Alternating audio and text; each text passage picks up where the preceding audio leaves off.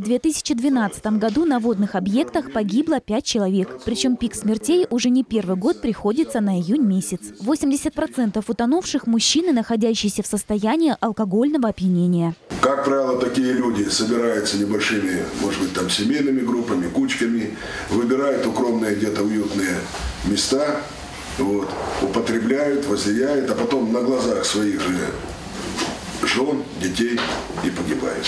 Торговать алкогольной продукцией в местах массового отдыха запрещено. Однако отдыхающие привозят его с собой и потом идут купаться в нетрезвом виде. Хотя и купание, как в прошлом году, так и в этом, во всех водоемах округа запрещено. Официально постановлением главы определено два места массового летнего отдыха. Это Солдатское озеро и Лотосовое озеро.